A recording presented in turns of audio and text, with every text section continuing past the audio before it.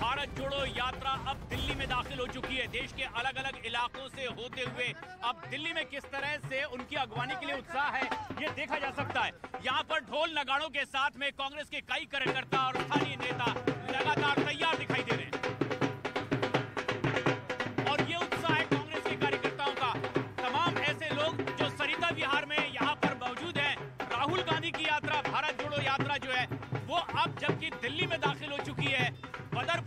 से ये हम देखते हैं, इसी रास्ते से होते हुए अब जसोला अपोलो के सामने यहाँ पर पहुँचने वाली है। सरिता विहार में हम मौजूद है। कुछ स्थानीय नेताओं की मौजूदगी है।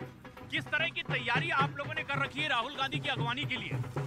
पूरा दिल्ली कांग्रेस के कार्यकर्ता राहुल जी के स्वागत में बड़े उत्साह से यहाँ पर एकत्रित हैं। सुबह चार बजे से हम सभी यहाँ पर उनका इंतज़ार कर रहे हैं। और दिल्ली ऑटो टैक्सी यूनियन का भी हमें समर्थन है। और ये ये तमाम ऐसे लोग हैं ऑटो टैक्सी यूनियन के कुछ लोग हैं जो कांग्रेस कार्यकर्ता के साथ यहाँ पर मौजूद हैं। अरुण सिंह हमारे सहयोगी जुड़ रहे हैं। अरुण बदरपुर बॉर्डर पर क्या ताज़ा हालात? अब क्या यात्रा आगे बढ़ती दिखाई दे रही है?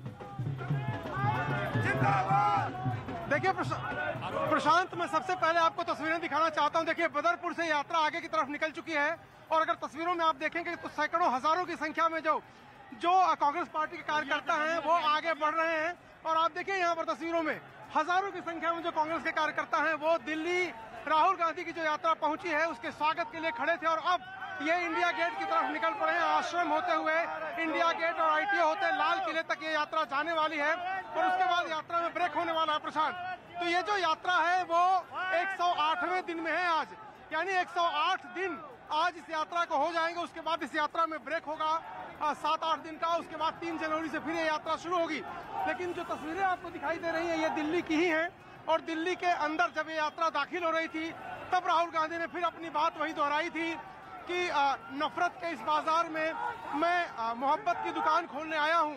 यही बात कह के उन्होंने यात्रा शुरू की है। और अगर ये तस्वीरें आप देखिए झंडे बैनर पोस्टर देखिए और किस तरह से उनके स्वागत के लिए कांग्रेस के कार्यकर्ता यहाँ इकट्ठा हुए हैं।